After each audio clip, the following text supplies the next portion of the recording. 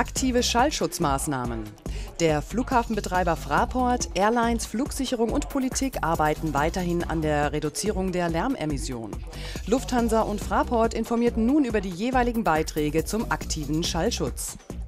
Hauptaufgabe ist, alle Möglichkeiten zu unterstützen, die dem Lärmschutz dienen. Das heißt einerseits die Airlines zu unterstützen, hier möglichst modernes Gerät an den Platz zu bringen und zum anderen die anderen Player, etwa die Flugsicherung in Forschungs- und Entwicklungsverfahren zu unterstützen.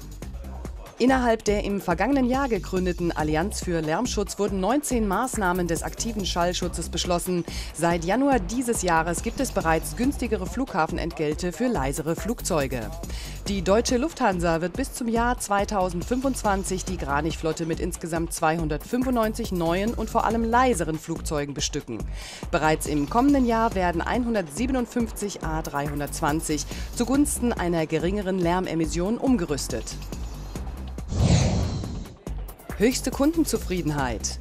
Der Frankfurter Flughafen ist mit dem Gütesiegel Service Champion in Gold ausgezeichnet worden. Damit ist der Airport Branchensieger und gehört zu den 120 besten heimischen Unternehmen in Sachen Service.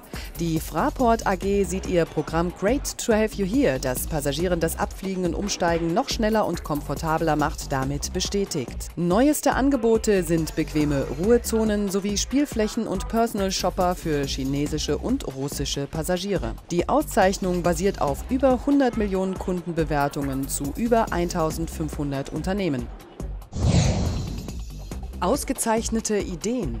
Bereits zum zweiten Mal hat die Fraport Ideen von Mitarbeitern prämiert. Viele der Ideen basieren auf technischen Programmen, die Abläufe vereinfachen oder aber die Energieeffizienz erhöhen.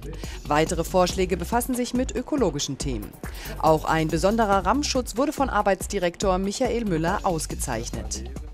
An diesem Rammschutz ist bemerkenswert, dass er auf Dauer verhindert, dass die Anlage beschädigt wird. Wir hatten in der Vergangenheit eben durch Elektrowagen viele Beschädigungen an dieser Anlage. Diese Anlage ist jetzt durch diesen Rammschutz sicher. Es treten keine Beschädigungen mehr auf.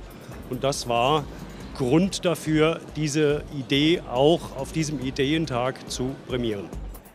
Die Ausgezeichneten dürfen sich über einen speziellen Award sowie eine Urkunde freuen.